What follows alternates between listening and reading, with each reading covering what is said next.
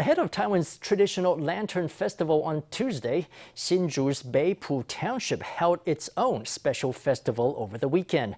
Residents and visitors alike carried torches in a procession for good luck. Owing to COVID restrictions, participants were required to register online beforehand. Still, nearly a thousand people turned up to hold torches that lit up the mountainside town. After nightfall, this plaza in front of a Beipu temple came alive, filled with the faithful. Each person held a bamboo torch, lighting up the night sky over the Hsinchu township. Eating glutinous rice balls and carrying lanterns are widespread in Taiwan during Lantern Festival, which is a few days away. However, this torch festival is a tradition unique to Beipu. It was held on Saturday night with nearly a thousand participants. 很好玩。it's a lot of fun. It was my first time holding a torch, and we could explore during the night. Actually, we had this activity when I was little, but it was suspended for many years.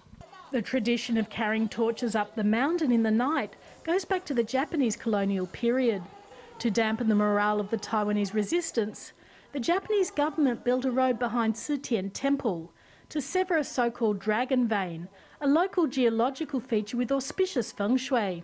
After Taiwan's retrocession, feng shui masters directed the locals to carry torches on the first full moon of the first month in the lunar calendar, so that the dragon's vein could be reconnected. We will continue to expand this torch carrying activity. We hope this local event can be seen internationally. We have followed the regulations of the Central Epidemic Command Center we all registered online, and relevant epidemic prevention measures have been carried out on site. Due to the pandemic, the participants were divided into six groups, each taking a different path so that the crowd could be dispersed. Organisers hope this traditional activity will shine a light on local culture.